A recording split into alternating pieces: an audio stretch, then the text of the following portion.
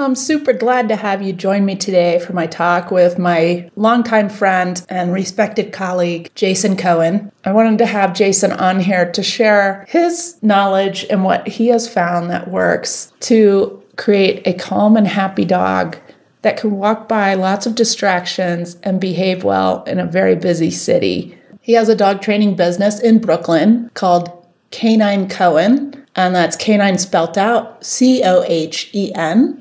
I've worked with Jason on lots of little projects and we bounce things off each other. I greatly respect how he trains dogs in very difficult situation of Brooklyn. Jason and I do train dogs differently because he uses a lot of food to help train dogs, and I usually don't do that so much. But that doesn't mean we aren't friends and we don't get along, and we actually can grow by talking to each other about these differences in our training. Thanks for being here with me today. First, a word from our sponsor, which is my business, Heart to Heart Canine Training. This podcast isn't free to host, so I wanted to just tell everyone about some opportunities that I have. I have an online subscription starting this month, focusing on fearful and feral dogs. This month, we're focusing on building trust. But I guarantee the things that you will learn in this online subscription will carry over to all your dog training. I also am having a workshop in Idaho in June in person about fearful and feral dogs. And of course, the original Fearful Feral Dog Workshop happening in May in Las Vegas, New Mexico. Please check out my website, hearttoheartcanine.com, H A R T number two, H E A R T C A N I N E. Thank you. I think we met yeah. at the RBBM workshop in Philadelphia. Was it there or did I think I met you at conference before that? I wasn't sure. I thought I, I met you after you presented at conference. I think it was a oh, white maybe. paper. Your first yeah, white maybe. paper, and then I, I, I, I was like, wow, I need to meet this person and we started chatting. And then, yeah, then I, yeah, RBBM was in Philly. Uh, and that was eight years ago. And I don't know, we've always just gotten along. You're funny. I always laugh really hard when I'm with you. And I think because we're both kind of artists, right? Yeah. we kind of get each other and and how we're creative and and yet how sensitive we can be at the same time, right? Yeah, and I think we're also very process motivated um, as we served on the board together um, of the IACP, um, International Association of Canine Professionals. I think that also helps. Yeah. I think it's also how we look at helping dogs as well. I don't think either mm-hmm. one of us uh, starts a project without the intention to do it to our best ability, which yeah, yeah, can be a blessing and a curse, right? Oh yeah, yeah. Well, for people listening, the art background for me, I was an art director in advertising for 20 years before I was a trainer. So that's where that comes from. So, the thing I like about Jason, and one of the reasons why he's doing this podcast with me, is that he is a good sounding board for my thoughts and my little projects. And he'll always be honest with me. Oh, yeah. I think sometimes too honest. well, you know, but it's it's from a good place, right? It's it's yeah. from a mutual, like we both want to help each other sort of thing. He had some feedback about the podcast I did about the fearful and feral dogs. I wanted to set a few things straight and I wanted to have him on because I do say that I don't use food in that podcast. However, and I'm, I'd have to listen back to it to figure out how exactly I said it. But I didn't mean to have the attitude of like, I'm better than people because I don't, or that I don't ever, which isn't true. I use quite a lot of food rewards for the dogs. Jason works in a much different environment than me. He lives in Brooklyn. He has to make adjustments to how he trains dogs based on the environment he's in. There's never one, only one path to achieve something. Since the name of my podcast is What Dogs Have Taught Me, they've taught me that, right? Mm-hmm. Like, if we try to use one process on every dog, it's usually not going to have the best success. So we need to be able to change. And Jason has really good training methods. I did admin work for Jason for a couple years, maybe. So I got to read uh, the applications of his clients and kind of be involved in how he trains dogs. And uh, honestly, I couldn't do that for people that I don't believe in their training methods. I got to read about some of the difficult cases he has and and how effective he is. He has a lot of insight about training and using different methods and how he uses food, I think, is really good because he gets positive results, yet the dogs remain calm. Go ahead into that a little bit. Okay. I've always liked using food when I got into dog training. Heather Beck, who we both have learned from, actually told me that I was too reliant on food. And she was right. Okay. Mm. Um, one of the things that back to the name of the podcast, which I do love, what dogs have taught taught us, or what has it taught me? Taught me. Um, but, but yeah, taught me too. Is I started working with a lot of dogs that were fearful, and you can't rely on food in a lot of the situations, especially when they're past their threshold. I actually went to learn from people that didn't use food. So Heather Beck, somebody that again doesn't really use food for the most part. Nelson Hodges, again, someone we both learned from, doesn't really use food. Even Phyllis, Phyllis Smooland, who I learned from as well, obviously one of your mentors. Mm. In general, how she trains doesn't use food. Okay. But because again, like you said, I'm in the city and compared to some of the people I we I just mentioned, Heather takes dogs into a socialization environment in her boarding, and her socialization really helps. Nelson takes dogs for three months. Okay, so he could take a lot more time. And uh, Phyllis also, it's more she's taking the dog for a longer period. I have, for the average student, four lessons is what I work with. The other part is I live in Brooklyn, New York. Um, one of the hardest places to train a dog. People that don't think so, come visit and hang out. We, when you were hanging out one time, you're like, oh, it's pretty loud. I'm like, this isn't loud. I talk to other people on the phone as I'm walking my dog. They go, it sounds really loud. I go, this isn't loud. and there's a lot of distractions. Dogs, other dogs everywhere. Um, depending where you are, squirrels, rats, scooters, e-bikes, kids, loud trucks, the compressed air from the buses, everywhere you go. As soon as you walk outside, most of the dogs I'm working with are over threshold, overstimulated. You can't always use food. It can't always be the number one thing. So something you mentioned in your recent podcast about renaming it when you were at where were you again? The Grand Canyon? Yeah, yeah. Yeah. And how people use food. And I see people do the same thing they do touch, touch, touch, and want the dog to touch their hand, or they're trying to distract the dog with food and lure them away, they're too late. Mm-hmm. Okay, so I don't use food in that manner, and I'll, I'll, go into detail more on how I do, but I don't use it in that manner because it, it's too late. Once they're past that threshold, food doesn't really matter. Okay, that's where I go back to my education with Heather and Nelson and Phyllis and you. Okay, of more use of the leash and use of pressure, or as Nelson says, tension on the leash and release to communicate. More negative reinforcement to communicate that way because they don't care about the food and not just fear. Overstimulated, overexcited dogs that want to say hi to the other dogs.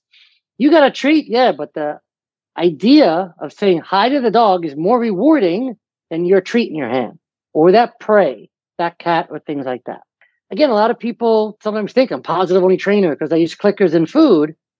I am more on the positive side, I guess. Um, the, the word in the training world is balance trainers, and I don't consider myself one. I consider myself open minded.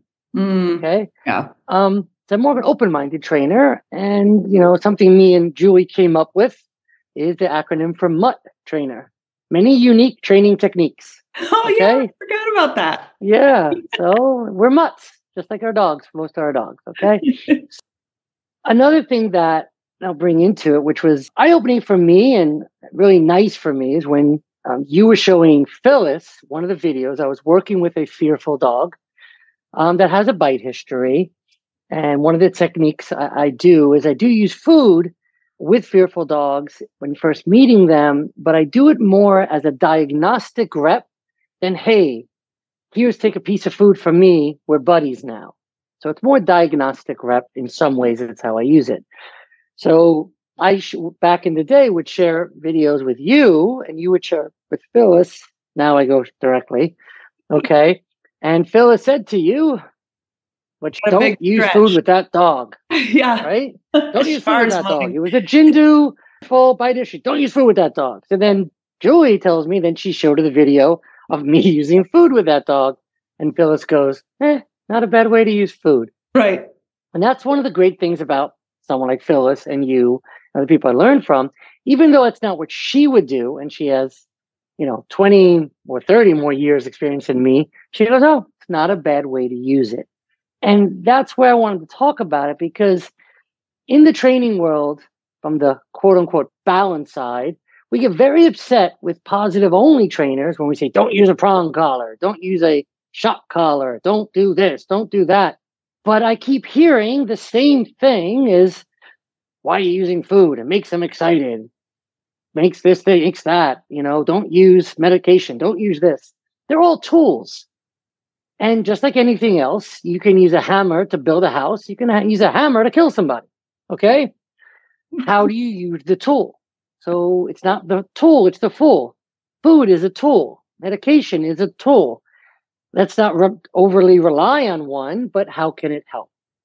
The one podcast with you and Becky, it just, and I know it just, you didn't mean it that way because I know both of you, but it comes across sometimes like, I didn't use food, you didn't use food, didn't give cookies. And, and I'm like, just because you don't use it doesn't mean it's wrong, but I know why you're saying that because I see it in the city all the time too.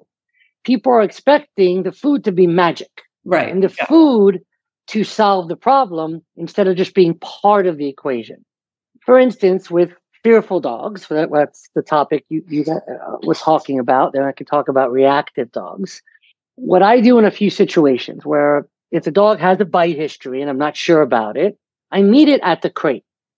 So I take away the owner on leash, adding tension, adding conflict. Yes, there can be barrier frustration, but the dog can step away. So again, we something should, with your we should also mention the apartments and things that you go in are much yes. smaller than like a suburban home. Yes. General, and I'll, and I'll tackle this more again. We talk about the outside stuff. Yes, when working in Brooklyn, New York, and in city environments, apartments are smaller. So, one, I, you know, it's harder because there's less space. And even if you have a high rise building with an elevator, that's other complications. So, when I go into people's homes, start dogs usually in a crate. So I could do an evaluation where I take the owners out of the equation. Mm-hmm. Again, it's just something I do, and I understand the problem that can be barrier frustration, but I take away the aspect of the leash where the owners, and I've had it happen where they tighten the leash, then the dog comes after me. Yeah. Or so they don't I meet them in, it.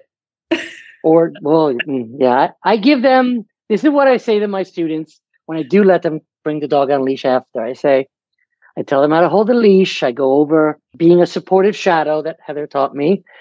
But I say, if you drop the leash and the dog comes after me, I do know how to defend myself. I don't want to do it. Your dog's not going to like it. Let's take things slow so the dog doesn't feel the need to come after me. And most of the time, I'm telling them to drop the leash and we work through things, uh, which I'll go over. When I go meet them at the crate, it's back to things you, you talk about. Nelson taught me, which how I approach with my body language. Okay. Mm-hmm. Yeah. And then I do use food, but it's not, hey, I'm a good, I'm, I'm your buddy now. Take food from me. I will drop a piece of food when they're barking sometimes. If the dog eats it, I'm like, oh, the dog's comfortable enough to eat it. If the dog is ignoring it, they're not. Yeah. Okay. And that's all I'm using it for. And I'll go from a dog barking at me to me handing it a treat through the crate, usually within a few minutes. I will sometimes use a marker, and we can deeper into when you were talking about using food and, and letting them understand why they're getting it. But I will, if they stop barking, mark and then drop food, or if they look at me eventually or make eye contact, I'll start marking and rewarding that. But then outside the crate, from the dog, more of a submissive posture. I'm not creating that I'm a bad person or creating um, stranger danger because I'm making myself small and I don't want them to think I'm a threat.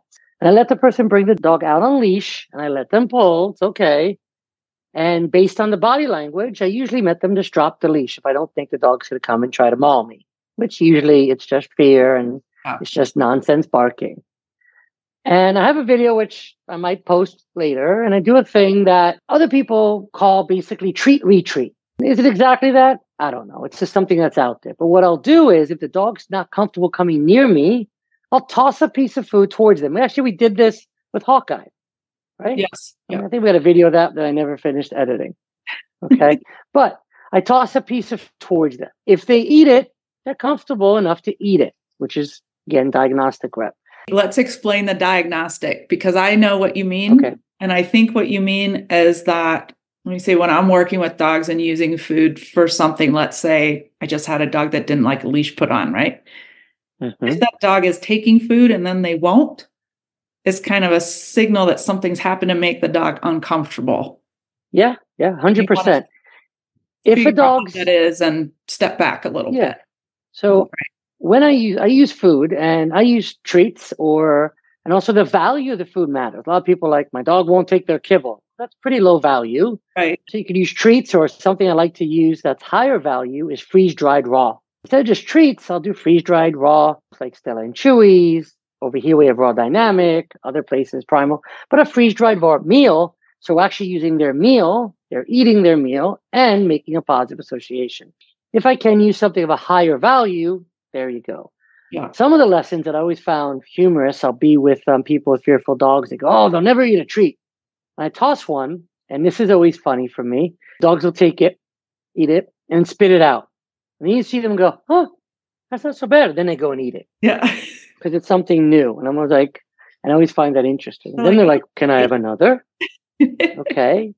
And again, it's using the value of the food matters too. Sometimes just cook up some chicken, mozzarella cheese or manchego cheese, a friend of mine uses, are great too. But if you give them a lot of cheese, we know what that can lead to. So I'd rather use, if I can, a form of their meal at a higher value. If the dog takes the food and eats it, they're comfortable enough to do it. If the dog is not, it tells me they're not comfortable enough to eat it. Also, when I meet my students, I say, don't feed them. So I know at least they're a little more hungry. Same thing outside. I have dogs that will take food inside. Outside, they're like, nope. Okay, they're not comfortable. Mm. And something I'll talk about later is I will use food to change associations. But right now, I just use it as a diagnostic rep to start. If they're eating, okay, that's good. Yeah. And then I start using it to say, okay, well, I'm not a bad person. I'm giving you food. I'm not trying to pet you. I'm not reaching towards you. That's the other thing. I'm not reaching to give them the treat. Right. So what I'll do is um tossing food towards them and then slowly tossing the food closer to me. And then the dog gets closer to me. I might hold the food out in my hand, not reaching, just out. If the dog takes it out of my hand, great. If not, I just drop it. What I point out to my students a lot, the dog will have their legs sort of reaching where right. they're just getting near me. But that's also dog's telling me I'm not comfortable, but the treat's mm, worth it a bit. But part of it is not just the food, but how I'm interacting with the dog. The yeah. big mistake a lot of people do is they give the dog a treat, they take the treat, now we're buddies. And then they go to pet the dog, like, mm, we're not buddies, but thanks for the food. Yeah. Where's your mindset at that point? Is it, I mean, I I would assume you're fairly calm internally. Yep, right? I'm calm, excitement at all. I'm not playing like go run for the food. Other dogs, yeah, other dogs that I'm using their drive, as many trainers do, and try to and, and play or drive. Yeah, I'm, I'm chasing food. I'm not doing that. I'm using the food as motivation. Come closer to me, okay. And then once back to the treat and retreat. Once they're comfortable closer to me, then I'll toss the food away. Then when I don't need the sort of Hansel and Gretel trail, they come to me, I toss the food away. They come to me, I toss the food away. What gets them the food? Coming towards me. I'm still not petting them, I'm still not reaching towards them. If they hang by me, I'll hold out the food, they take it. If they stay there, I might give them a little scruff under their chin. The big mistake, again, what people do is we're buddies, you gave me food. Yeah. The example I tell my students that is from my childhood is when I was a kid, I'm in my 50s, so this is a long time ago. My great grandma would give me a dollar every time she saw me. Okay, pretty cool. That's that's, that's a good association.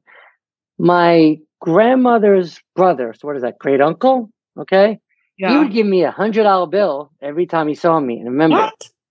this is a long time ago. A hundred dollars was a hundred dollars then. What? Okay.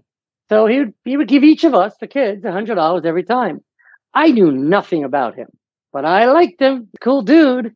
I was excited when he showed up.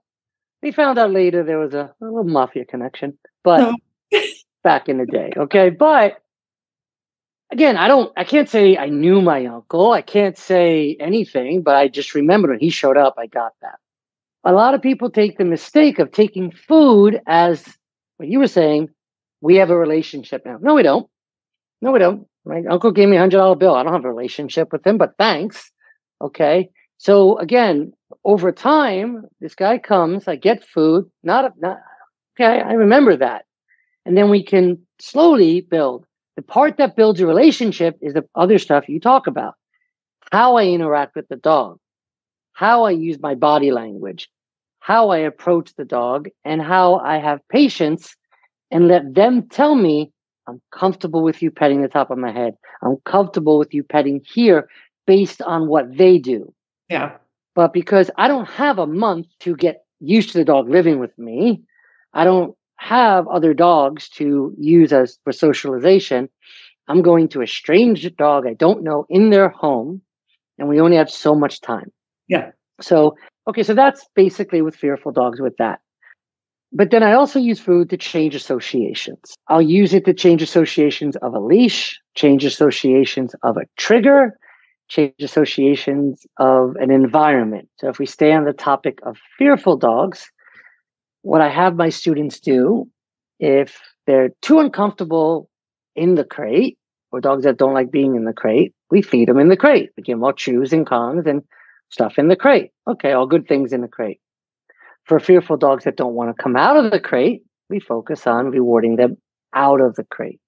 For dogs that are uncomfortable outside, some of the things we'll do is just sit on your porch and just feed them their meal. Again, if we can get something higher value. In the city, if they if you people have a rooftop for higher buildings, go up there. Or if they have a terrace, sit out there, have your coffee, and just feed your dog their meal. I had a student where the dog wouldn't go near a certain corner, it was too scary. I go, okay, feed your dog at that corner. Corner's not so scary anymore. Now, yes, I will use clickers and food and stuff like that in, in that way, but a lot of times I'm just like, you get the food in this environment. Other ways with a tool. So dogs that don't like a slip leash going over their head or something going over their head. I have a piece of food in my hand. As they're eating the food, leash goes off and change that there. Heather's hero sidekick or transitional leash, a head halter. I have a technique I call kitchen open, kitchen closed. At a recent workshop, had a, they had a dog that was like, "Nope, you're not putting this on my head. Not happening. Mm-mm-mm, not dealing with it." She goes, "Let me try Jason's Jason's um, kitchen open, kitchen closed technique." All of a sudden, this dog's comfortable with it going on the nose, over the snout. So what do I do there? I basically put the food over the snout, apply some pressure, and food, food, food, food. Take it off, no food. Put it on, food, food, food. Over time, they're like, okay, when that comes on, I get food. I like food. I need to eat. Good deal. I don't do it forever. It doesn't create excitement. Yeah. Okay.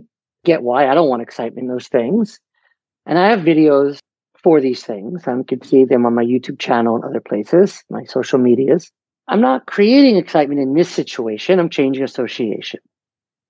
Other things I do is food trails. So again, fearful dogs that won't walk. One of the things I do in the home is take the owners out of the equation. They're afraid to move around the house. So I'll have them take a food trail and again, using their meal. So again, if we can use a high value version of their food, like Yeah. a freeze dried raw, which is great and healthy, we do a food trail right in front of, you know, where they're comfortable, usually around the living room. Then I have the owner sit back down and just wait, ignore the dog, take themselves out of the equation, and they just eat the food trail. Okay, a line of food, easy.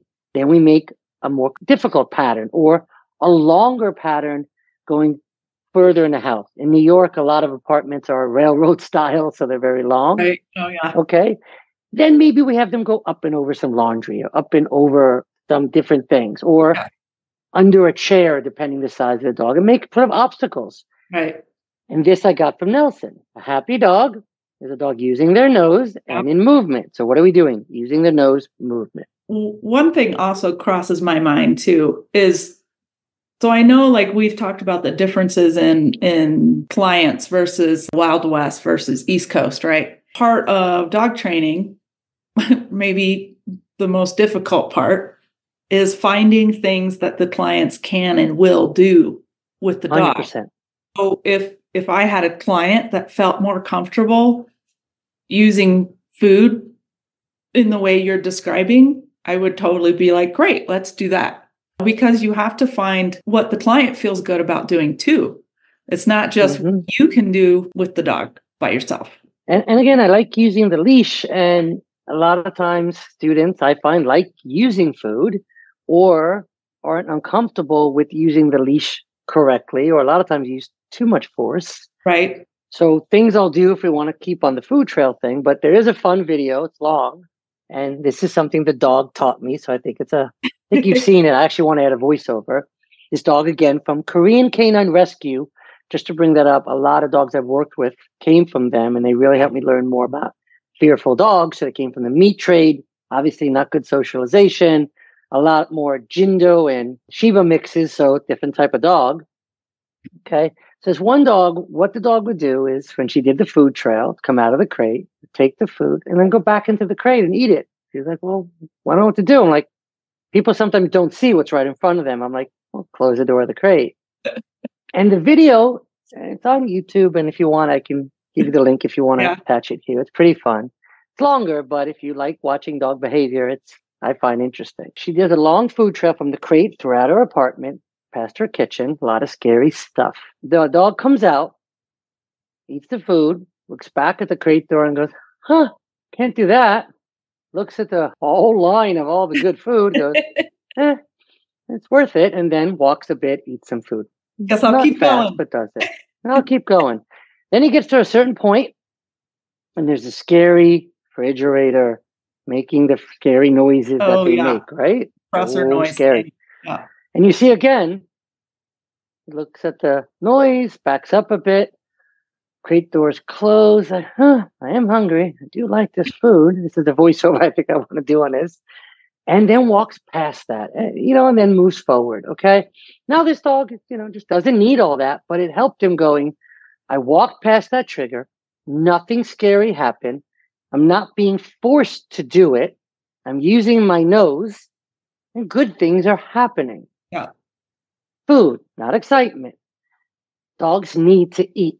So again, I, would rather not use the word treat. Sometimes if you need to, you have a treat, a food, a cheat. You can also mix it up. But that's why I like using a form of their meal that's high value that you can use for training you don't mind putting on your floor. Right. Okay. And that's the problem. That's the good thing about the freeze dried raw is because I don't want like raw food all over 100% house, yeah. right? So, and it's not just a freeze dried treat; it's a complete meal, and that's why they they ate, and especially with small dogs, done. So that was again, I use food trails for that, and then some things I do, like I had a dog that when you know walking them on leash around the house would, would it work? And there's a video of this with a dog named Nori. And again, then going, it's funny, like you'll walk the dog on leash, fine, and they'll go on their dog bed, fine. But when you're holding the leash, they're like, I'm not walking on that bed. And they'll try to walk around it. It's like, yeah. what uh, why you, you you sleep on the bed? when you holding the leash, like mm, I don't know about that. what is that? Trust, right? Yeah. So what do I do?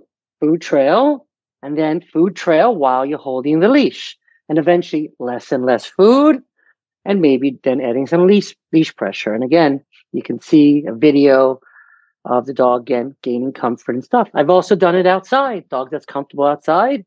We'll add a food trail on an elevated surface, a little urban parkour, building right. confidence, going up and over things.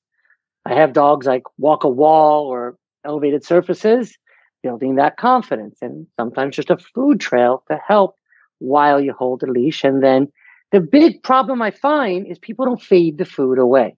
Mm, Okay. yeah. I'm working with a student right now that has trick training titles on her dog. But now when she walks her dog, she's feeding a whole meal throughout the walk. I'm like, that's great if you're doing the obedience, but you got to fade the food. And then you make it training, learning theory. It's intermittent and it's not there. So So, explain that a little. How do I want to phrase this? With my dogs, I mean, again, I live in the country, so much different environment, but even like their entire lives, I'll practice recall. Mhm. And sometimes they get a, a reward, sometimes not, right? But that's a little different. That's more like maintenance training, I think. well, if you, again, this is all, if anybody wants to read about it, it's from when I learned, I went to Starmark Academy and our main book that we learned from is How Dogs Learn. Okay. Oh, yeah. It's a great book. I have that book somewhere around here. Yeah. Yeah. And, you know, they talk about the four A's and, you know, it's how dogs learn, right?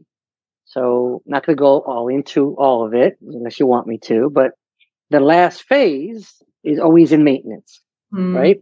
I don't know if you want me to go through all, pha- you want me to do all phases? No, can but maybe this. go into like how you fade the food when you know Okay, it's yeah. fading.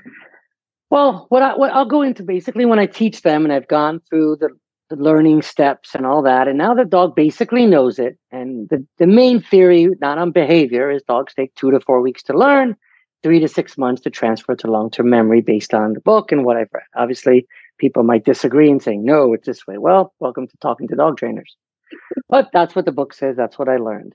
Go through the learning stages, right? But the last stage, always in maintenance, is the three to six month period, the intermittent period okay, Mm, where I'm not rewarding every time, third time, 15th, millionth time.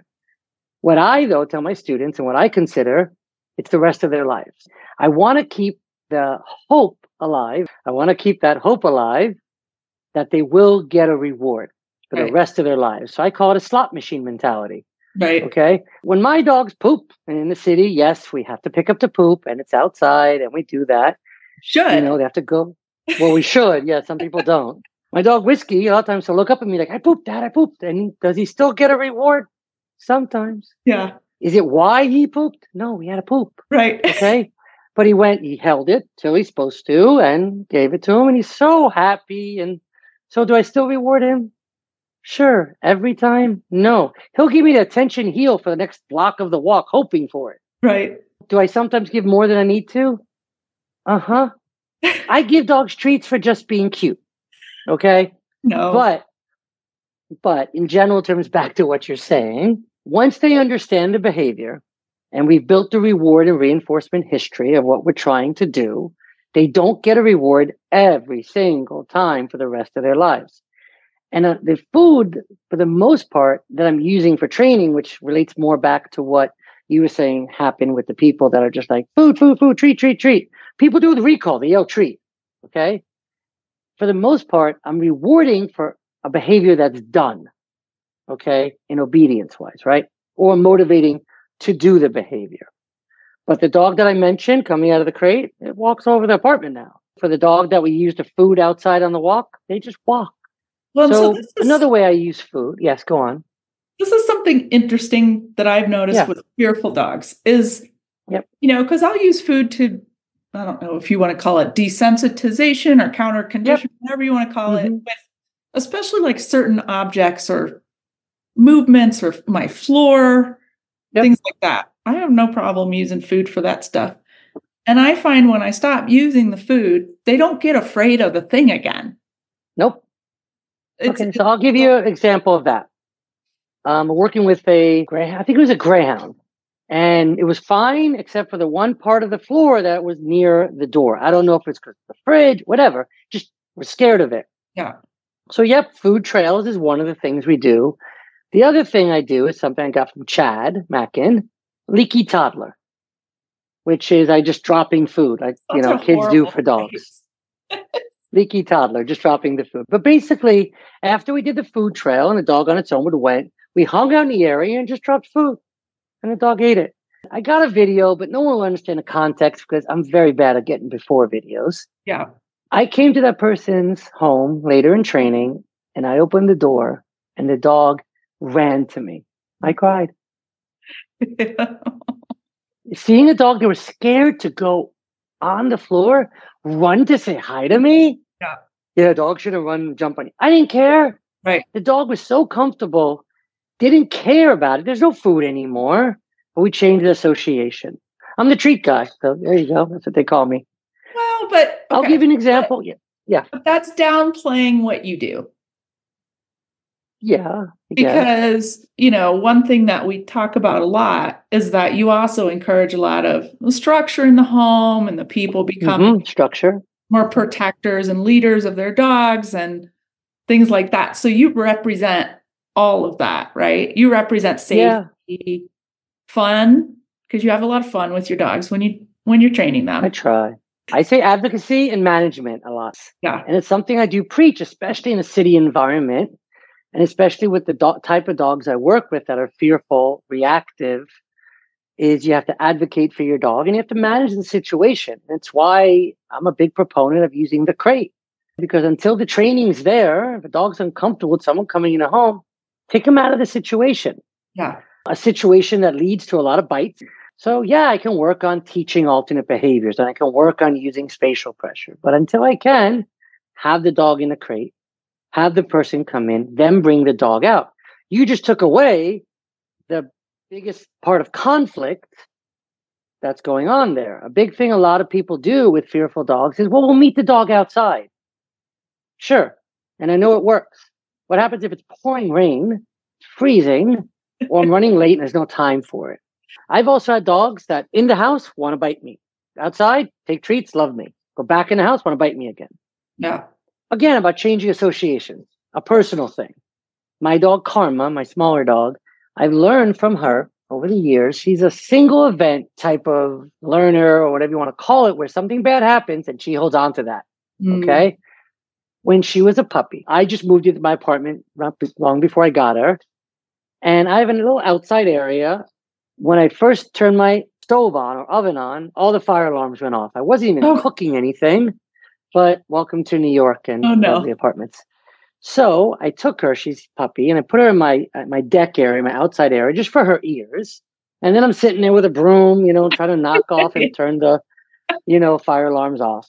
Didn't think anything of it. And then I got her in the summer. So all summer I have a barbecue out there and I'm just barbecuing, cooking out there. Single guy, not doing much cooking in the house. In the city, we also order in a lot. So now it gets colder and I'm not doing that. And I turned the stove on. Ah. She goes to the door to the outside. I told you about this, right? I don't know if you told no? me the story. Okay. This is again before I was a trainer. This is when it was just a hobby. Right. It was a hobby for about five years, and I had friends that were trainers. So she goes to the door and she starts showing her avoidance and appeasement signals. She starts yawning, tongue flicks, eventually drooling, and eventually she pooped herself. If I wouldn't let her go outside because of the scary, up, you know, stove or gas going on, she pooped herself. I'm like, okay, what am I going to do? So I talked to one of my friends who's a trainer and he talked about counter conditioning and all that. And she did have a foundation of place, something I do use to create a safe place for dogs. Yeah. Because again, for as a trainer many, many moons ago, I used a food trail to get her from the door where the outside area was to my kitchen. Not a huge space in Brooklyn, but okay. And then I had just a, you know, woven blanket I got in Mexico. Yeah. And folded up, and I had to go to place right there. Then I slowly, what I did is I would turn the gas on, and I had a leash on her, and I started marking with a clicker and rewarding as the trigger. The big thing when I do things like this is control the trigger the best you can. Yeah. Okay. I did talk about this on another podcast, and what we realized wasn't even the gas going on. It was the smell of the gas that triggered her anxiety. Okay, that's how early it goes on. She goes, "Ooh, what's going to happen?" And if the fan kicked in or anything like that, even worse. So I had her there, and I just turned the stove top on and just started marking and rewarding. Great. Yeah. And I slowly, over time, built to where I would take some cold cuts and sizzle them, and you know, because the sizzle would obviously scary. Then the fan, scary. I'm just marking and rewarding, and then guess what you would get? some of those cold cuts. Yeah. Mm, good stuff. And she's very food motivated. After a while, she didn't care. She, I, I, call it, she went from pooping herself to what you cooking, Dad. Yeah. Okay. One day I should write this up. Okay. I didn't get videos, stupid me. That'd be a great title. Then. Yeah. from pooping but, yourself to what you cooking. And here's the interesting thing. So then I took her to Starmark when I went to school, right? Yeah. Didn't care, but I knew the stove was there. Huh. When we got back, Starmark, you know, it's like a three month, um, 12 weeks or so program. Then I and I drove there and drove back and took my time from Texas. When I got back, I went to turn the stove on. It came back. Oh, it's gonna happen again. So I just did about one more, one or one or two more sessions. Yeah. Never seen it again. No problem. Okay. So evil food. Okay. Yeah. Never created excitement, create association. Another thing with my dog Karma. I'm walking her, and all of a sudden, around July 4th, a firework goes off. Uh, I bias, but this is also why I still walk her on a slip leash and it's still a sidekick. But then I just put that over her nose so she's not choking herself, got her calm Yeah. with not food, with leash pressure, got her calm, walked her home. But then every time if I walked by the same area around the same time of night, she's like, Ooh, what's gonna happen again? What did I do? I started marking and rewarding in that area around that moment, and now she doesn't care yeah. same things when I work with reactive dogs. But does that make sense with that stuff? Yeah. Yeah. And I mean, I've done tons of stuff similar. And I mean, those are those are good examples too of that superstitious behavior, right? Or mm-hmm. superstition. Like something else happens and the dog thinks it's associated with this and so it's always going to happen and stuff. Yeah, I had a dog that was like moderately afraid of thunderstorms. The thing about living where I live is we don't have a lot of them. Yep. so it's hard to solve the issue because there's not a lot of opportunity, but what I ended up doing with her, she loved to do like little tricks and little obedience tricks and shake hands for Sure. so as soon as I knew it was coming, we'd go outside and we'd do some of that, right? And she had a good time. And then Mhm. we'd go inside and I'd give her like a bully stick or something. Yeah. So of course she got adopted. I don't know. I'm assuming she's still fine. But for the rest of the summer, which is only when we have the the thunderstorms, she'd start going, There's thunder. Can we go play. you know, and do our little thing. So it can be a very like powerful. Well, it doesn't have to be food. You're using another thing that, again, if you go into the brain, the dopamine Yeah. and all the different stuff that, you Yeah. know, I can't pronounce. Something but- dogs Yeah. like, basically. Right. Well, on that note, Karma again had issues with thunderstorms. She had issues with the fireworks. Okay. A few years ago was basically what you did. As soon as the fireworks start, and my dog does have obedience, so I just ran through some obedience and tricks that she had. So for the five, ten minutes of the fireworks show, we just did fun obedience. She never cared about it. Yeah. So I did that a bunch, and but you know, you have to have the obedience to do that. Right. But you can also just play with your dog, you know, do tug, do chase, whatever around the environment if they can handle it. What I've done over the few last few years, don't need to, but I hang by my TV. I'm not going out on New Year's as much as I used to. I'm not going out and those things. I'm home. No big deal. So I just have food or meal or whatever. And as soon as that, because in Brooklyn, doesn't have to be the actual fireworks display Right. you will have random fireworks right outside your house, and Yeah. it's lovely. It's lots of fun, and you know it's not a, a um, um, an actual gun going off. They sound differently. You get to know that living where I Well, live. In Albuquerque, they have both on those occasions. yeah. So what I would do is, as soon as I heard a firework, I just said yes and just toss some food on the ground. Yes, Yeah. and just toss some food. And what started happening is firework. Oh, there's my food. And after a while, fireworks. So what? So what I tell people, and if you want, I'll talk about how I use it for again leash reactivity and stuff. I try to get the dog from a fearful, reactive, anxious state to a happy state to a neutral state. Yeah. A lot of people never get away from that excitable state. Okay. Yeah. One of the things in the city, you can always, and that's when I reached out to you also. I liked your reactive dog video. And again, the premise of what you want to do, I, I agree with. And again, other people in the city do do more long line work. But for me, I'm a little more control freak, I guess.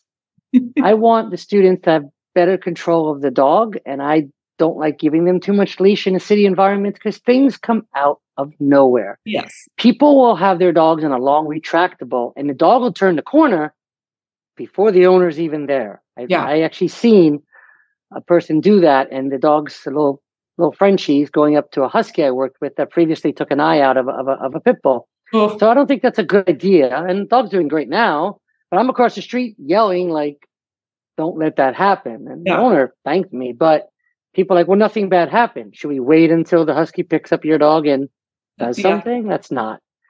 so have control of the leash. Okay, a short but not tight leash. The key is not tight leash, not adding tension in situations. And listen, if you could cross a street when there's a trigger, great. If you could add space, great. I tell my students one, and I need to write this out more, but first create space when you can. Yeah. Okay. So, like by me, when you're by Prospect Park or certain areas, you have a wider street and you could do a thing I got from Tyler Muto called bubbling out, which you walk and you just change the intent and, you know, bubble out from the other dog and say, we're not meeting and give your dog space away from the trigger. And that's important. Yeah. Because it's not running away. Uh-uh. Right. So you're not going, oh my God, there's a dog. We got to go this way. It like, looks like it sometimes.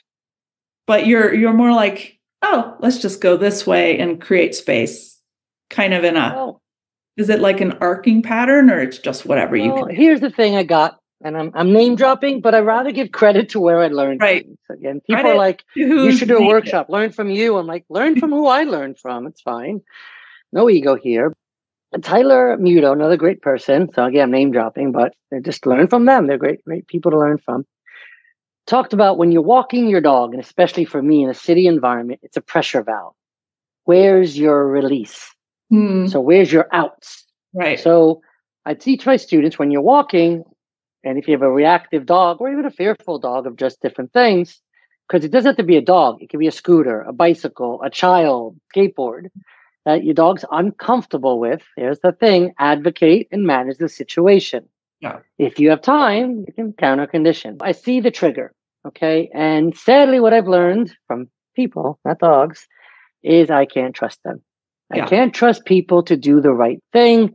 I can't trust people in general to control their dogs. What I first do is I take my dogs, the dogs on you, you that, that you have working, out of the equation the best you can. Yeah. If there's a wide enough street, you bubble out and just walk. If sometimes you can just walk around a car and then go back in and avoid it, fine. It depends on your dog, depends on the other dog. How is their handling? How is their dog at the end of the leash? Is their dog looking at you and targeting? Right. Or excited? What picture is that dog showing your dog? Throwing up the middle finger across the street, you know. Yeah. So that's again what I learned from dogs, especially my dog Whiskey, my larger dog, that has a very high prey drive for small animals, including small white fluffy dogs, is he to them he's a rabbit. They're rabbits, right. they're not dogs. And he's like, Can I eat it? He doesn't bark, he doesn't lunge, he just like come closer, come closer. But my dog's friendly, don't care. So give your dog space. When you look at sometimes from people in a positive only, they're trying to take food and lure them away. Well, once the dog's focused on something, so thresholds matter. Is yeah. the dog past threshold? So with food, the dog can't be past threshold. So the first thing before the dog's past threshold, get them out of the situation, create space the best you can. Then, if you can, put the dog, I do put him in a calm position. And I've seen online, don't make him sit, blah, blah, blah. I'm not asking them for an obedience sit. Right. That they have to stay in position. I use tension on the leash, pressure up for them to submit to a lower body position, sitting or laying down. I'm in front of them. I'm in charge of the situation. I want them to have faith in me that I'm not going to allow that dog to come into their space. I don't care if they sit back up. It's basically the reason I do it is to say, chill out. Yeah. It's not a sit cue, it's chill out. So I get them in a chill position. If I have time, I use rapid reinforcement. So I do use food and techniques how I handle the food, where if I don't feel the dog can handle the trigger, skateboard, bicycle, whatever it is, I do a high rate of reinforcement. One of my students just called it a treat bomb. Okay. Am I distracting the dog? Yeah, but I don't stop there. Okay. Yeah. So what I do is I mark and I don't want them looking at the trigger. I'm not asking them to do anything. I just start marking and putting a food in their mouth. As soon as my hand comes out, I mark again. So they're like, oh, another piece, another piece. And they don't really care about the dog if you do it early enough. Yeah. But if you don't and the dog reacts, food's out of the equation, pressure Right. up, calm the hell down. Yeah. Okay. So I'm saying, nope, chill out. The better the dog can handle the trigger, the slower the rate of food. So then when I don't need to do rapid, I want them to look at the trigger. So then they see the dog, but at a distance, or the bicycle, or the skateboard, or whatever, or the bus. They see it, mark. Then they get food. Then as it gets a little closer, mark, and then reward again. What I've seen happen, again, from the dogs, is they go from, oh, every time I see that trigger, whatever we, it is, I hear the sound that means I get food. Yeah. I like food. So what's making the food appear? What's making that sound happen that mean food appears? The dog, the skateboard, the this, okay? So they go from I have to stop it. I have to lunge and make it go away. Because what are dogs usually doing when they're reactive? Making the threat go away because they don't have faith in us to handle the situation. Yeah. So it's also even how I'm doing it and positioning. Well, the and I was I- gonna I was gonna point that out, but that is a super important part hmm because a lot of times I'll see people have their dogs turn their back towards the trigger Mm-hmm. and then they're trying to reward the dog because they're thinking, oh, I don't want the dog to look at it. But then the human is not protecting the dog physically, right? You're not a physical Right. barrier to whatever it's worried about. What I used to do was more of that. I used to have the dog with the back to the street facing me, and I was marking and rewarding. What I also used to do was do the look cue or watch me command. Yeah. Okay. And again, we did talk about this on different podcasts once. And the more we look at it, I'm not against the look cue. I'm not against teaching the dog um, attention. It's great. But in this situation, if that's all we do, all we're teaching is avoidance. Yeah. I want the dog to be able to look at the trigger and not react. Yeah. Okay. I teach my students to have the dog to your side where the food is, facing where the trigger is. Also, the way I do it is if you're in front of the dog, you can also turn into the dog and use spatial pressure as a form of a correction, right? Or I use upward leash pressure to slow the dog down. And yes, I'm putting my dog in a position where they can't move by seated, but I'm not asking them to do that. And people have, where they put the dog in a sit and they let the other dog get into its space where you're not giving it the option of flight. Right. I will if there's space, which people call emergency U-turn. I'll go, let's go, and mark, mark, reward to turn them. In the city, okay, there's a dog in front of me. I'm going to do the U-turn. There's a dog behind me. Okay, Yeah. I'm going to go over there. There's a skateboard. There's a car. I can't cross the street. So there isn't always space to get away because, again, dog I just worked with. It wasn't just dog. It's scooters. It's bicycles. It's e-bikes. So everywhere you go, there's a trigger. So what are you going to do? Well, well, and I think you're in Brooklyn. Sometimes you really act like you're in Brooklyn, right? So, like, we'll be mm-hmm. on the phone together, and and the dogs know that you're going to protect them because you're like, nope, don't touch them, or what do you say, like, Uh-uh. or you'll say like, whiskey, that's not lunch, or something. Oh, okay, okay, yeah. So I'll tell you about that. So my dog Whiskey, as I mentioned, high prey drive. And people, I'll tell you a funny story about it, but people still, and it happened to my student the other day, where they'll say, I'm sorry, I don't like to say my dog's not friendly because it's Right. not about friendly, it's what's appropriate. But people still argue with you and go, no, no, no, it's okay. My dog's friendly and it'll be fine. Trust me. Okay. So whiskey's about 80 pounds. Main breeds, pit husky. So there you go. There's our prey drive. I think there's some Rottweiler in there too. Yeah. What I do for the most part is I pull to the side, again, either between the trees on the sidewalk or I go between cars. I take my dogs out of the equation because I don't trust people and just do it. And I tell people that I see all the time, I'm just honestly just taking my dog out of the equation. Yeah. Okay. And it's annoying to do it. But when I haven't, and my dog Karma did have leash reactivity, I was too nice when she was younger and created it. But people let the dogs get into her space and she doesn't like it. Yeah. She doesn't have to be okay with a dog entering her space while she's on leash. She has that right. Yeah. And to just sidestep a thing, just about giving space, things I do is I'll stop at a light, but I'll pull to the side where people are crossing, but I give space.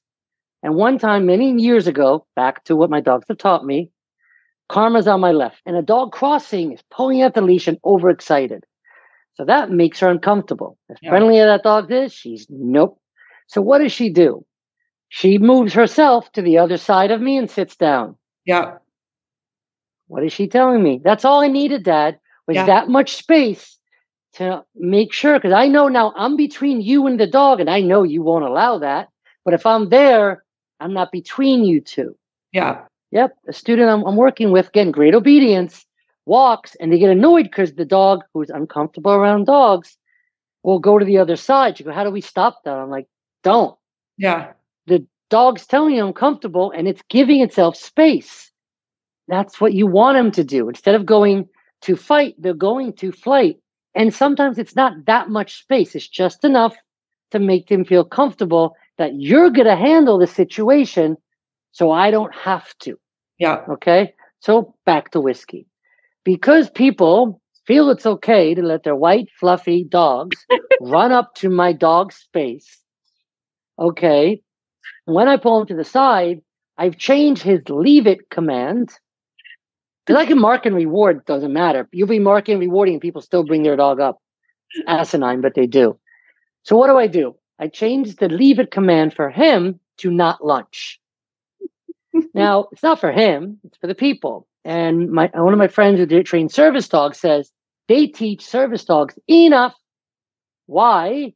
While people want to pet the cute service dog in training, they go enough, and the dog focuses on them, not the person. But it's also telling the person, no, sorry, not enough. Ignore, ignore, ignore. So when I, and it's funny sometimes when people notice it, I'll go, not lunch. And he'll look up at me and I'm marking reward. And he does a quick look up and people go, oh shit. And they literally, I've seen people run away. Good. Okay. Because I've told people he'll eat your dog. They don't care. Yeah. Here's a situation. Um, I had a day, walking my dog, whiskey's right next to me, and this guy with a few small dogs is trying to come in my space. And I try to be nice the best I can. I just got told to F off when I just the person to go to the other side. It's Right. it doesn't matter, even when I'm trying to be nice. So I say, no, thank you. He goes, it's okay, my dog's friendly. I go, he'll eat your dog. Before I taught that. And he goes, no, no, no, my dog's friendly. It'll be fine. It'll be fine. And whiskey, people don't realize he's not barking. He's not Right. lunging. Right. He's a predator. Yeah. He's just going, oh, come closer. Just come closer. Just come closer. So he's there, and the person is keep arguing with me. And I had a day, and I'm just enough. I go, okay, you think it's going to be fine? I should have recorded. You're comfortable on whatever happens with your dog in mind. Oh yeah, yeah. I I know better than you. I didn't say that, but that's their attitude. My dog's friendly. He'll magically fix your dog. People believe that. I'm serious. So I just released whiskey. I just said break, and he just lunged at that dog. I kept the leash long, short enough that he couldn't get to the dog, and I was like, uh, uh stopped it.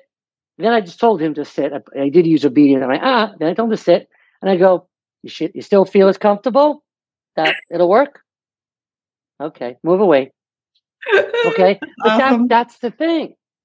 It's I Don't try this at obedience. I know I can stop him. What? Don't try this at home. We're not Don't advocating. yeah. Don't try not that at saying home. like go do that. I mean, to be honest, I've I, it, it, to get to the point when you and he's well trained enough, I can tell him to stop. Okay, and Yeah. he does actually. Whiskey helps me with small dogs now with reactivity, but he also knows the parameters. Yeah. you don't get. I've had him laying down next to small dogs, and he can be, but he understands the expectations. But to show what I mean by his prey drive, and he used to, he'll be in a down. I have a video of this, and there's a cat under a car Uh. somewhere, and he's just sh- he's in a down. There's obedience, but he's shaking uncontrollably. right. Okay, he's just okay. So obedience, but mindset's still the same. So again, back to mindset. I had him one time at a friend's house. Leashes off, and there was a statue of a curled up fox in, in like a bush in her backyard.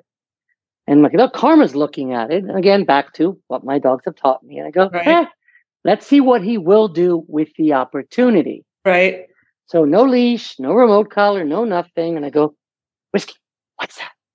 He sees it. He does not hesitate. He runs to it and bites the statue. Probably Ow. where he cracked his tooth. Ow. Okay. Did not hesitate for a second. I have an opportunity to go get prey. Done.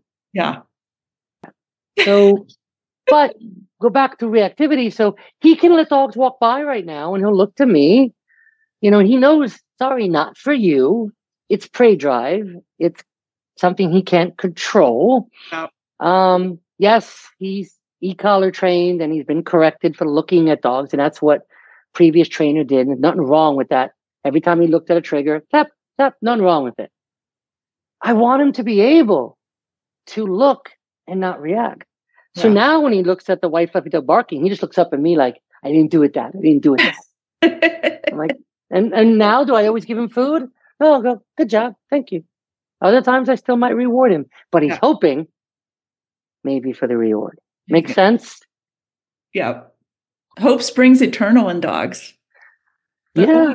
And again, it's back to, you know, learning from my dogs, learning from the dogs I've, I've worked with and trying different things, you know. If again, I still work with dogs that they don't care about food, so I'm sorry, we're going to use leash.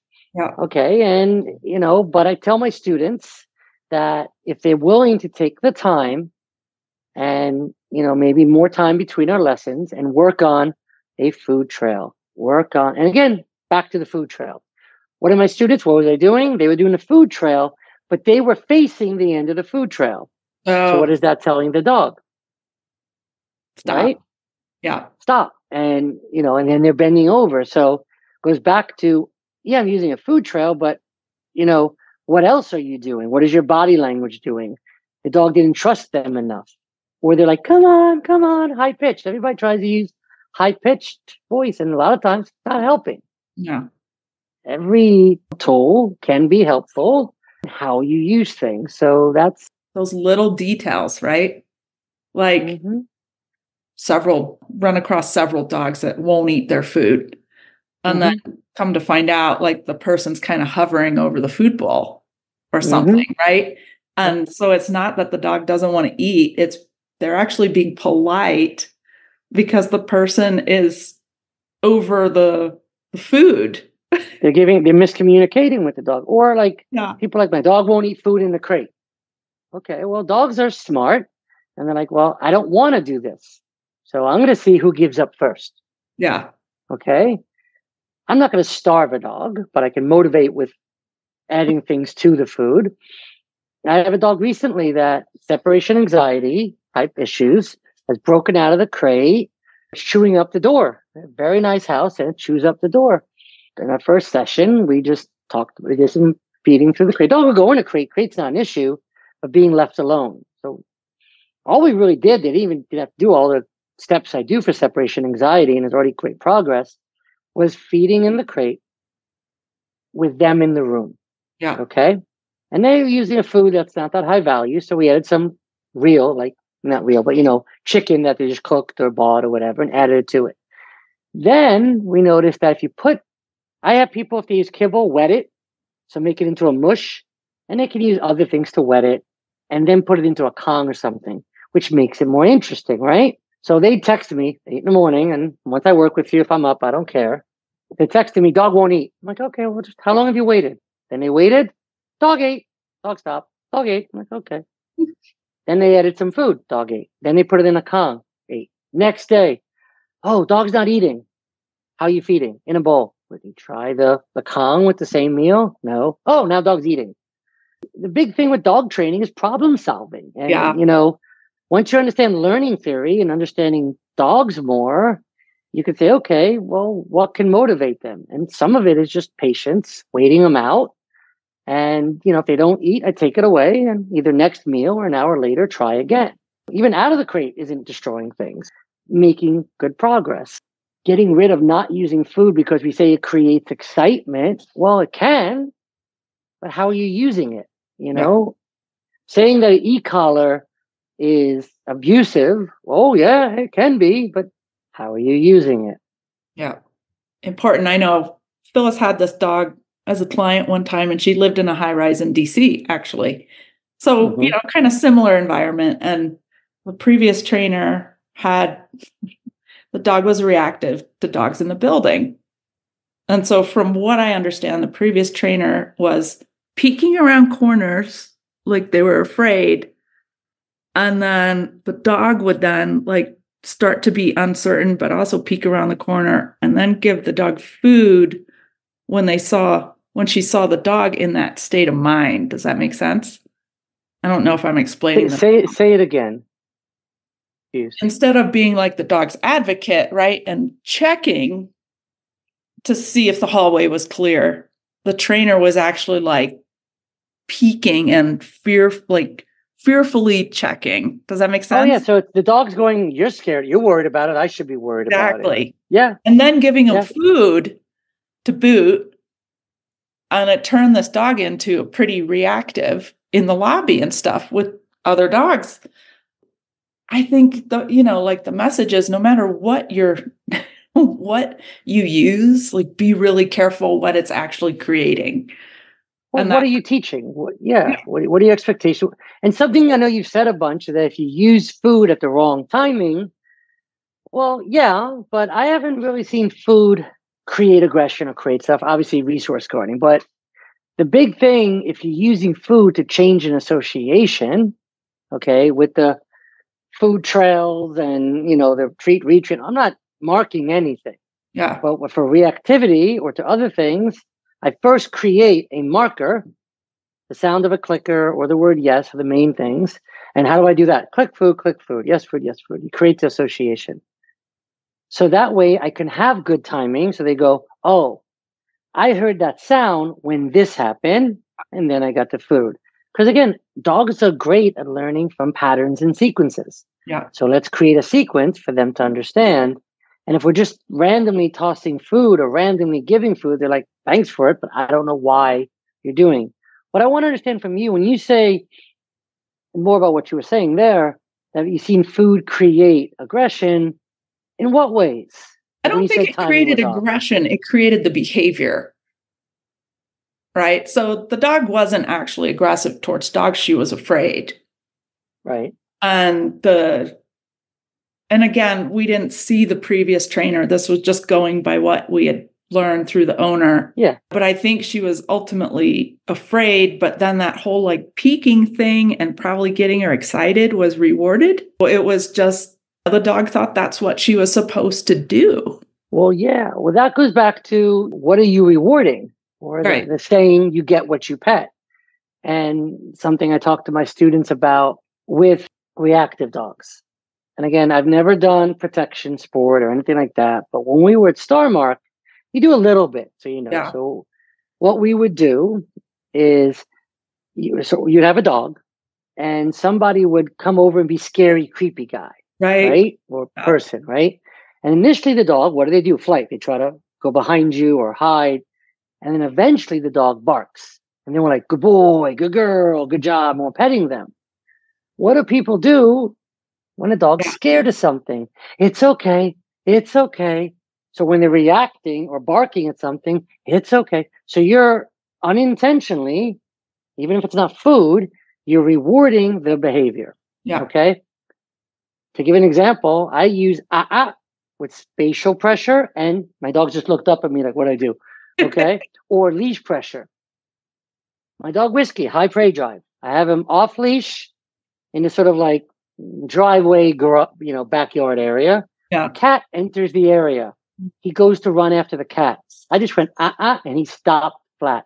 Never corrected him, but I've paired that sound with leash pressure and spatial pressure, and he's like, "Oh, I shouldn't do that." Yeah. Yep. Dogs learn that that creating i think a lot of dogs don't know how to create space between triggers mm-hmm. because yep. in our world we have to restrict that but you know working with the dogs that have freedom out here in new mexico they always want i mean 99.9% want to just go away. And so, however, you teach the dog that getting more space feels better, I think they'll want to do that. Right. You know? And what a lot of people want to do here in the city is I want to walk my dogs. I want to, I want my dog not to care about those things. And I'm just like, it's fine, but you got to, and something I like to say um, is you got to consider the dog in the equation. Yeah. You know, if you have a dog that has great temperament, and again, I can walk by most dogs in situations, but I don't because a lot of times when I have, they let the dog, it just happened yesterday. Okay. Well, and, um, and so I wish I could kind of go back in time and try these things with Annie and Coltrane, like my first two dogs, mm-hmm. because they were trained to the point where I could walk by just about anything and they would just heel. Yep. Right. Yeah. Very well obedience trained. Sure. But what that does is the dog's looking at you going, What are you, an idiot? Because you shouldn't walk that close to that. Very, right. Very then the dog yeah. can't really trust you to move it away from danger either. So I think there's that balance. So that that's where I find a lot of reactivity comes from is the dog, we have them in front of us and then a trigger comes and they're all the way in front. So how do I handle it? Now, if you teach them when there's a trigger, come back to me. Okay, great. I tell my students, if you're walking down the street, the next five people, how many of them would you be comfortable getting in your space, giving you a hug, touching your hat, touching your hair, even just getting in your space and asking you a question. Right. We're in New York. We're not so nice. Right. Okay. And they're like, none. I'm like, then why is it okay for you to do that to your dogs? You know, and send fearful dogs. People let people bend over and pet them, right? I think it's just a lack of self awareness in what mm-hmm. other people might need or want. And you know, the other thing I realized, like with when I'm with my mom, who's 77 now, and she's a little slow moving and stuff, mm-hmm. people are also clueless to older people and kind of giving them some space and trying to rush them from behind or walking right in front of them or something like that, you know? Oh, yeah. So I think I it, it is a funny thing though. I really uh at the Grand Canyon, right? My because I live like I don't see a lot of people here, so it's kind of it was kind of fun to like be around a lot of people. And I was walking the dogs, and this lady just bends over and puts her hands out towards Chardonnay, who actually probably would have been fine with that. But oh yeah, sure, sure, fine. Like Tipton, keep your hands to yourself, people, mm-hmm. right? Oh yeah. And and I just looked at her and I was like, "Don't touch." And she actually like flinched. I scared her so much. Oh yeah. I must have had that energy like really working that day. like, well, I've had student dogs that bitten people, and um, I did a lesson with them where we practice. You know, the dog's behind you. You step up and you hand to the face to the people. Yeah. No, thank you. Yeah. And what I do, my student asked me the other day, what would you do to tell people to control their dogs when they keep doing that. What I do, because everybody has headphones on and you can't even see if they're on, not everybody speaks English. Right. I actually put my hands in there towards their face and I wag my finger no and I go, no, thank you. Still doesn't always work, but people always blame you because your dog might not be comfortable with it. But also, when my dog Karma was younger, I allowed all the leash meetings that I tell people not to do. I did all those things. She did go to puppy socialization. She did, did get properly socialized too, but I allowed too many random leash meetings. When she became an adolescent to adulthood, a year to year and a half, I had a reactive dog. Yeah. Okay. People like, socialize your dog. I did it all. but what happened is I didn't advocate for her. Yeah. And when she got to a certain point, I wasn't listening to her avoidance and appeasement signals when she was saying, Dad, I don't really want to do this. I was like, ah, get over it. It's fine. You're being a drama queen, blah, blah, blah, blah, blah. I wasn't. I wasn't listening. I wasn't advocating for my dog. I wasn't considering my dog in the equation. I wasn't allowing her to create space. So she's like, well, fine. I'm an adult now. I'll try something. Let me I'll bark and lunge at a dog. Right. And then there you go. So, you know, but back to where we started, that's I do use food to help change associations, but it's paired with space, advocacy, proper leash communication, you know, everything together. So as many tools as I can use to help the dog. So something I'm just uh, doing at the end of these is just asking all my guests, Ooh. What have you learned from dogs? Just one or two things. Dogs have taught me patience. Yeah. Even though it hasn't really transferred to people. Okay. I tell people all the time, and I've students say, you know, Jason's so patient, and people like Jason. I'm like, with dogs. Okay. so, unlike what you were saying, it all transferred to people, mm, hasn't done that for me as much as I wish, but they've taught me more about how to understand them, appreciate them. Mm-hmm.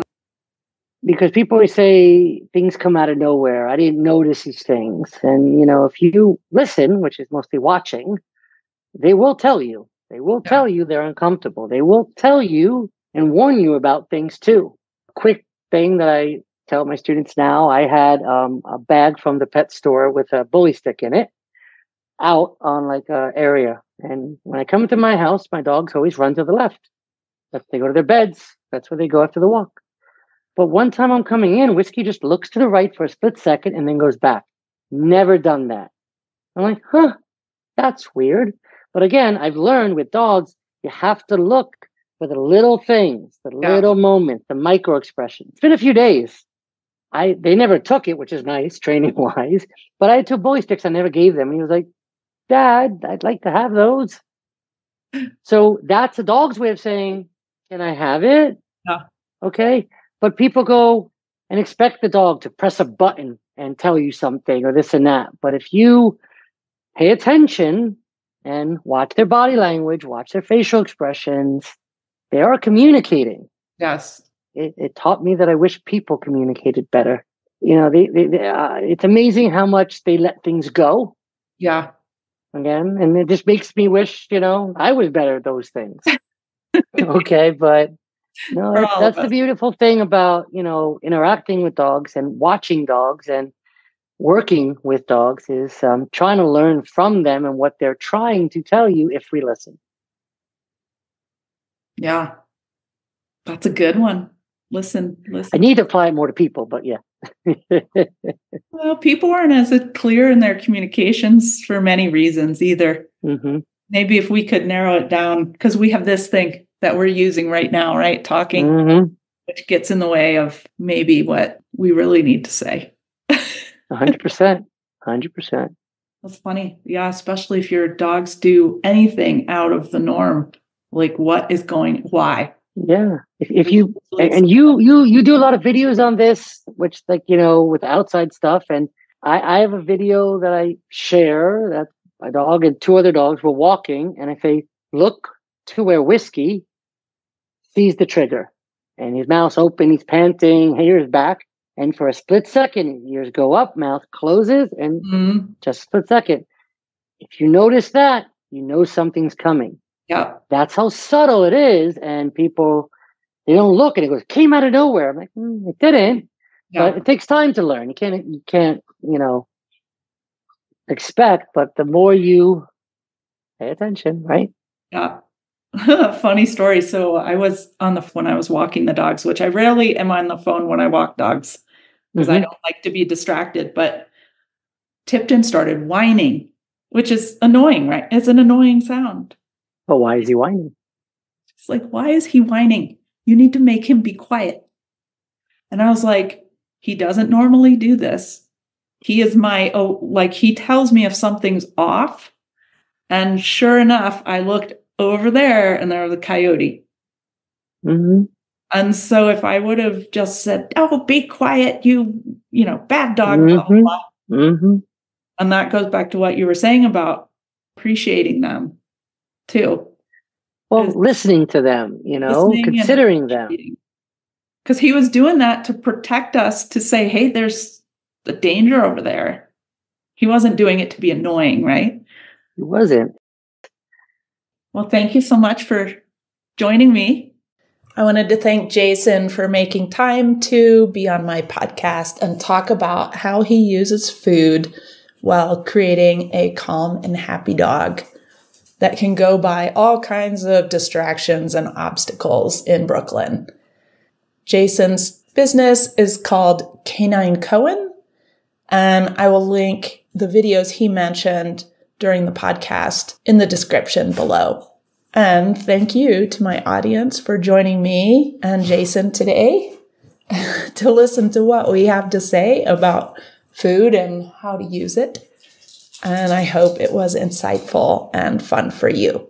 Next time, my dad is going to be on the podcast talking about how he's lived life without a lot of limitations on what was possible for him and also his family. This relates back to dogs because I think a lot of times we put limitations on dogs and don't allow them to reach their full potential. And just a disclaimer any training advice that we give is general and may or may not be suited for your dog. If you're having aggression concerns with your dog, please consult a professional. This podcast is intended for educational and entertainment purposes and is not meant to be individualized dog training information for your particular case. Please always use caution and common sense when working with dogs.